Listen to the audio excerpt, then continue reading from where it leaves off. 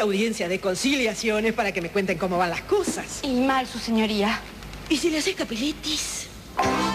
¿Hoy lunes?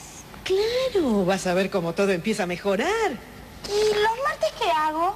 Y los martes podés hacerle ñoquis. Ñoquis de papa. O de ricota. Y los miércoles tallarines, los jueves ravioles de ricota y espinaca. Ay, a él le gustan de carne y jamón. Hacéselos el viernes. Pastas frescas, matarazo. No hay que esperar hasta el domingo.